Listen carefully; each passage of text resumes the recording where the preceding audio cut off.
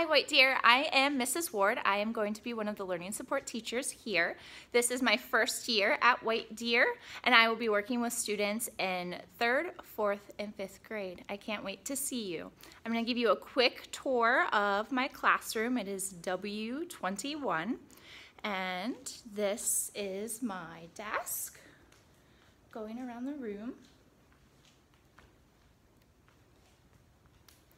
And I will be sharing my classroom with Miss Pachalski.